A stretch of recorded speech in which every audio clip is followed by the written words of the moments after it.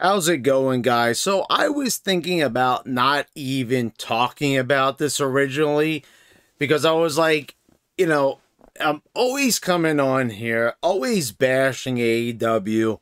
I'm like, people already know probably like what I'm going to say ahead of time, and maybe I might surprise a few people by saying this you know, because everyone is going to come in the comments and say I'm being a negative Nancy, I'm being pro WWE despite doing SmackDown and pay per view reviews where I'm constantly, you know, critiquing the WWE and all that. And, uh, eh, this all out pay per view, though, I, I just couldn't avoid making a video on it because if you guys didn't overhype it to the level that you're overhyping it, I would probably just not even make this video. I would just keep working on the WWE 2K19 retrospective that I'm working on and some other video game related stuff. Uh, but I decided, sidebar, it's time to talk about this because it, it's completely outrageous. Just the overhype.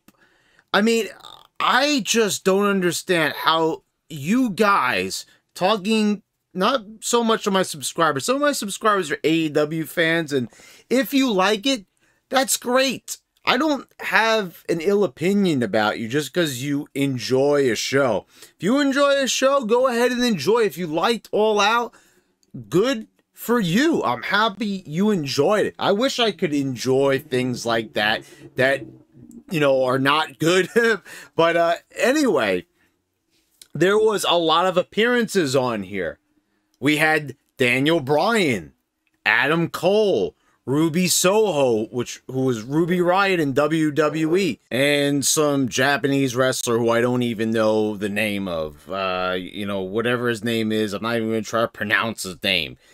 Uh, but uh, these are all WWE talents, and everyone's making a big deal, and everyone knows what a big fan of Daniel Bryan I am. Uh, Adam Cole, not so much. Uh, but you know, Daniel Bryan, I mean, you could go back and look at my catalog of videos here on YouTube. I have strongly supported this man's career. I've purchased merchandise for the guy. But I am not going to come here on YouTube and lie and say that the guy moved the needle because the fact of the matter is he never did there's no proof of him ever getting the needle up, even during WrestleMania 30. You know, uh, when he was there, that's when things started going downhill. And the same thing goes for CM Punk, who we're going to talk about in a moment. And you know what? We'll start right there because th that actually came first. We had CM Punk and uh, Darby Allin. And I actually watched this match. This was the only full match that I watched on the show, just in case you're wondering why you're not getting a full all out reviews, because I'm not watching three hours of this. So I watch key moments, and that's about it. So I watched this one from start to finish, and Punk and Allin, it was okay. It wasn't bad, but eh, you know, the fact that people are saying this was great and this is amazing and you know, I watch it right here on YouTube and I'm looking at the comments and people are saying this is wrestling, this is great.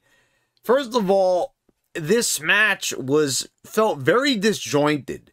There was nothing like overly bad about it, but there was nothing overly great or even great about it. It was a very slow paced match. You could clearly see that Punk is like wrestling at half the speed and it might be due to him being out of the ring for so long, but he also did MMA training, so you would think that maybe, you know, he'd be in better shape. And, you know, I'm looking at like the shape that he's in. He's not really in the best shape here, especially for a guy that trained in MMA. I'm kind of looking at the guy and, you know, the muscle tone is all gone from him. He kind of just looks, you know, not horrible, but he looks amazingly average. so, and Darby Allin, I'm looking at this guy in there and I'm saying, oh, just what do you people see in this guy? I mean, you know, I might give Finn Balor some shit, but at least the guy you know, he he he at least looks like an athlete. He might not be my idea of an athlete, but at least Finn Balor is like twice the size of Darby Allin. And when he paints his face, you could start to take the guy a little bit seriously. Here you just really just have like I said, you you've got a Misfits reject. Misfits for anyone who doesn't get that reference, I made it before in the past in the CM Punk videos that I did. That is a a punk band, a classic punk band. If you people have never heard of it, then you know go look it up. But that's exactly what this guy looks like, and he also looks like he's copying the appearance of Vampiro. And inspiration is, is sincerest form of flattery. I know, I know, you know, but anyway, that's not the point. But this match, you look at the spots and how it was put together, there was no energy, and the crowd was completely out of it. I, I, I mean, really, except for the finish, which you know the crowd should always you know be their hottest for, I guess. There was really nothing here for the way this match was built up and it being this big return. And of course, me being the realist, not to toot my own horn, but I was the one coming on here saying that this is not a good return here. This is not a good place to start for a match. Darby Allin And, you know, I'm also taking a look at what I'm seeing here on this show. And we're talking about you know, the WWE and all these stars from the past coming in, like Brock Lesnar and Goldberg, and stealing the spotlight from the from the younger talent. And meanwhile, I'm watching CM Punk pinning the brightest star, brightest star in this promotion. I'm also seeing Paul White Big Show squashing QT Marshall. And I'm also seeing Chris Jericho go over the top heel in MJF. So where are the arguments there? So anyway, the CM Punk thing, not bad, but very underwhelming and not such a great match. I mean, the fact that I'm looking at, you know, out of curiosity, I looked at what Wade Keller gave this match, and I'm like, he gave it three and a half stars. I'm like, are you fucking kidding me? For that match? You know, I think back to like WWE matches that he probably gave. You know, when I was younger, I, I would look at Wade Keller's stuff and he used to give lower scores to certain matches. Like, I remember one thing just, it always stuck in my mind. They had this great hardcore match on SmackDown with Chris Benoit and Randy Orton, and they gave this match. He he gave this match like um he, he gave it like one and a half stars or something like that. Something completely ridiculous. And to think back, like here we are in 2021 and he's giving a match like this three and a half stars. Like, you know, I used to do star ratings on here when I would rate pay-per-views. And if I was still doing that, and if I really had to like give this match a, a rating, I'd give it maybe like two and a half stars, maybe, if even that. I, I mean, it was just kind of subpar, really. There wasn't a lot to speak of here. You, you got Ruby Soho comes in here, and you know, forget about all these other girls in the women's division. She gets the number one contendership in the Casino Battle Royal. You, you know, forget about uh, fuck all these AEW women we've been building up for months, for years hey, you know, get him out of the way, make way for Miss WWE. I mean, you know, do they not see that that this is like them promoting WWE stars after Tony Khan and Jericho said they're not going to be about uh, hiring past WWE stars? And the question I need to ask here is if they're not about hiring WWE stars and they're not like TNA and and all that, like what what about you know, they're going to use these wrestlers better because that's the argument. Well, we're going to take all these stars and make them better. You know, uh, seriously, like, you, what happened with Andrade? Weren't you going to do it with him? Jon Moxley is like an afterthought. You know, he's in Japan half the time. That's the reason why they let him go to Japan because it's like, uh, we don't really have anything for you here in the States. You might as well go over there and do something. I mean, and and countless other talents. Like, what are they doing? Example, like with Matt Hardy, they got that guy in there. They, you know, said, oh, you know, they're, and, and I was like, okay, he's coming in there. They were taking advantage of the broken universe character. Or like, I'm like, okay, so they might do this justice here. Then they, you know, they the guy almost gets killed in a match basically, and now he's doing some money gimmick which is going nowhere. And you know, Miro, you know, I had him doing some really foolish stuff. And the funny thing was that guy was in a wedding in WWE, and everyone said, "Oh, this is what they're doing with him," and then he ended up in another wedding in AEW, and no one said shit about it because if AEW does it, it's all fine and well. So you see all these these repeats. It's WWE stars just being hired by AEW just to fill roster spots. And the guys that they have, they're not even doing anything. They said they're going to elevate these people. I don't see them really elevating to anything. It's only a matter of time before they get tired of Ruby Soho. And, uh, well, we're going to move on here to Adam Cole and Daniel Bryan. So you had your main event with Kenny Omega and Christian Cage, which I did not watch. I just watched the finish for the returns. So out comes Adam Cole because the baby faces are getting beat down. Uh, Jungle Boy and all those other, you know, uh, I don't know if Marko Stunt was out there. I couldn't really tell. Uh, but yeah, also had um, uh, what's his name the um the the the T-Rex guy he was out there too and uh you had a bunch of run-ins here. So out comes Adam Cole and it's Adam Cole to save the day try to save Christian and the Jurassic Express. Um so he comes out Adam Cole and we think oh it's babyface Adam Cole. And then he does a, a really sloppy looking super kick to um uh, to Jungle Boy.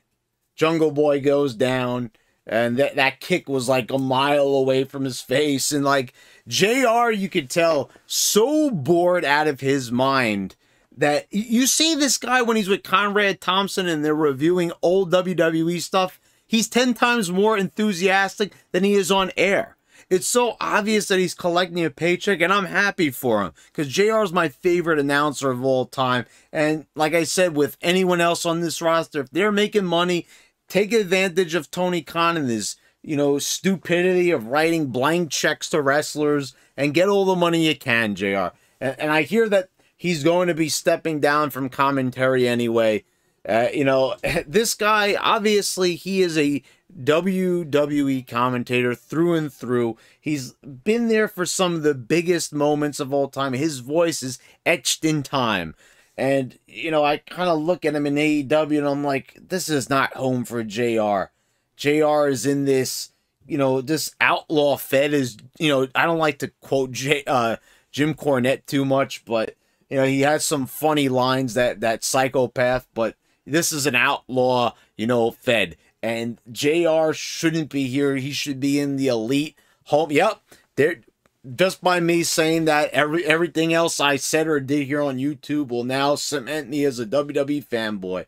But the case of the matter is just that. There's so much history in the WWE and that's JR's home. So I know eventually JR will come back home. Um, but this is not a good look. So like, yeah, so so the big uh the big swerve, JR can't even sell it because it's just so half-assed and no one cares. Like seriously, like who cares about Adam Cole doing this swerve? Does it really matter? Do, does anyone give a shit? Like first of all, Adam Cole comes out and he does this kick and is there any reason why we would want him to to join up with Christian Cage in the Jurassic Express. Anyway, uh, the, Daniel Bryan comes out to make the save because then they start beating down on the on the baby faces, and Daniel Bryan's out there to kind of counterbalance. And you know, I'm just kind of like, okay, it's the same thing with JR again, and even Tony Schiavone and Excalibur that that mask goof there's no enthusiasm. Like they can't even get excited for their own product.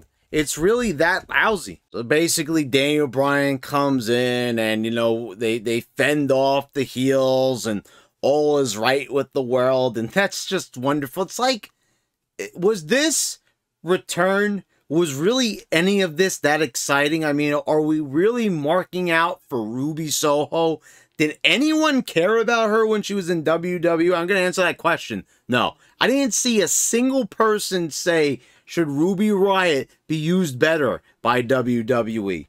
I mean, when I looked at her in WWE, I thought she was in the right spot. Like, she shouldn't be elevated. They shouldn't bring her down. I mean, she was a decent wrestler, I guess, you know, but like the fact that we're treating her like like royalty here, wrestling royalty.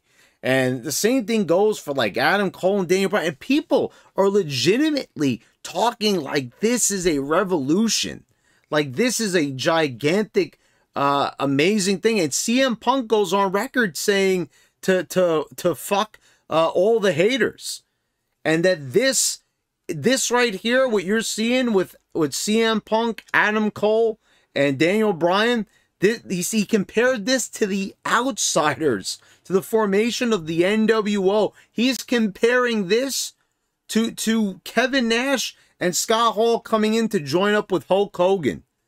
Do, do you guys do you do you if like I said, Daniel Bryan fan and a CM Punk fan.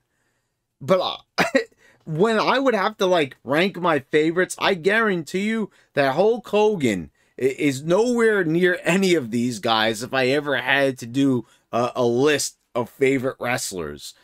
Uh, I mean, Jesus Christ. I mean, that is beyond cringy.